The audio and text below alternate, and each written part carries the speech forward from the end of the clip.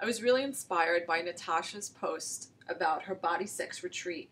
This is her sixth one. She's Six. doing, I, she's doing so good. She really is. She's one of our body sex leaders. And her post was about how she's had a hard time the last few years and she's kind of on the other side of it. But she, you know, titled it, you know, if you look for the light, you'll find the light. And I think we never talk about intention and our mindset as it relates to our sexuality, which is kind of our grounding as people and our self esteem is grounded and how we feel about ourselves how Yes. much pleasure we experience. Yes, yes. Yeah. It's what we it's what we project out here. Who do I want to be? I think I want to be happy. I think I want to be selfful. That a good word? Self-full instead of selfish. Yeah. you know, because that's what people say. You're selfish. Self full. Very definitely. Yeah. That was like the time I was um, I had a period where I actually said I'm a celibate priestess. I love this chapter in your memoir. Love it. I just cut everyone out, everyone off, just like, and I just, I mean, it was a period of self reflection, being with myself, doing only things with me. It was very, very interesting. Uh, now, I do it from time to time, I still do it from time to time where, where I'm just not available. I check out. And That's and- so hard as women. Now that I'm a mom, I realize that it's so hard to do. You can do it, but you, you have to work at it. when you have a kid. Well, you can. There are moments when you can, you know, and, and self care is important. But what's interesting is during this period, this is when you came up with a lot of your orgasm techniques that you use in Yes. your practice and the Yes. body sex Yeah. group Yeah. by going Yeah. inward. Yeah, I did. I came up with uh, what what really worked, you know, and then the whole thing about the idea of of meditation and masturbation combined. That I could actually meditate while I masturbated, and that I could have fantasies that were positive to create what I wanted in my life. and to manifest. And Yeah. you did. I did. I What did you manifest? I mean, during that period. Oh, let me. Th- well, the book. I manifested a, lot. I- I even had a recent experience with every New Year's Eve, I have a resolution. Mm-hmm. And this past one, I thought, what do I want? Okay. You know how you have a mantra that you repeat and that, that it makes whatever it is that you want to accomplish? I said, this year, I'm perfect. Ooh. I don't have to accomplish anything. I'm perfect. Well, when you're 88 years old and you've had a life like yours, I think you I'm can get perfect. there. I'm perfect. So I don't now I, I can I can choose things that I want to do, but there's nothing pressing.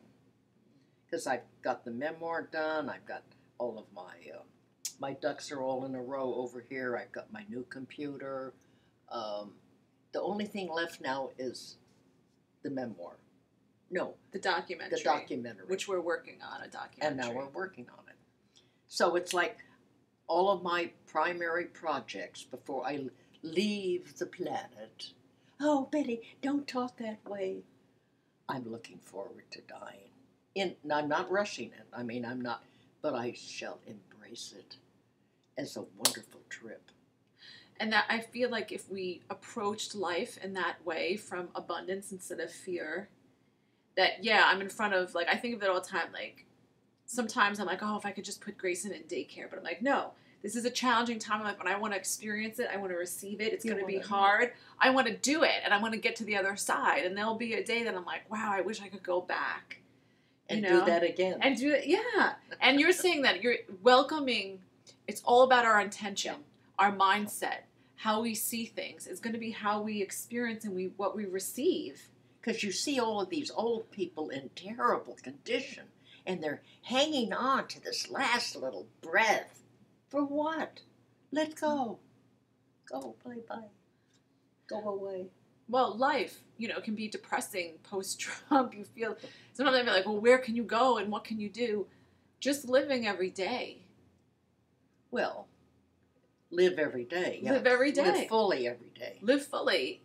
See the light. Choose the light. Choose pleasure. Choose happiness. It's a choice. It doesn't It just is. happen. It is a choice. I can choose to be fulfilled. I am so fulfilled. I love everything about my life right now. I love to be alone. I know this sounds like not very social. when I'm with people, I'm with people. Well, do- don't you think that reflects on your life choices? Wanting to be alone. The people who, who are uncomfortably being alone are usually running away from themselves. You know, you're at peace. I am.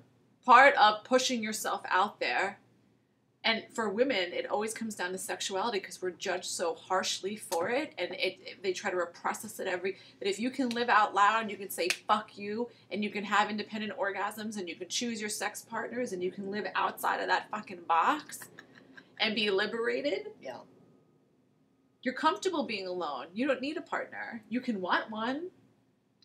Well, I'm know? kind of I'm kind of past that.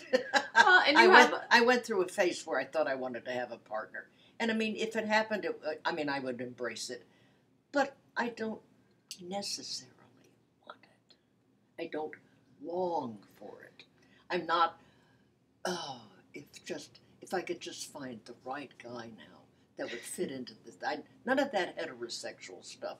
And and it's and I don't want a woman either. I mean, I, Well, but don't you want? I think what body sex affords sisterhood. There's I've something. got a whole slew. exactly. You know, we're gearing up for a new round of workshops. Yeah. So we're about half filled. I'm going to put the dates up. So April 22nd and 23rd, May 20th and 21st, and June 24th and 25th will be in the circle. And there's something very Oh. satisfying and fulfilling. That really is the only thing I'll miss when I leave the planet. communing with women on that level and having that kind of connection without the petty jealousy and the None comparisons and just being in your skin. I love body sex. I do. I love all of my my daughters, my sisters. Oh, it's so wonderful. And you're doing a yeoman's job of organizing and getting these groups together. But you know, it's not work. It all happens, and I wonder sometimes how do I do it with a toddler? And somehow it all comes together. And I think, you know, that's kind of validation for me that I've made the right choices because it works. it works.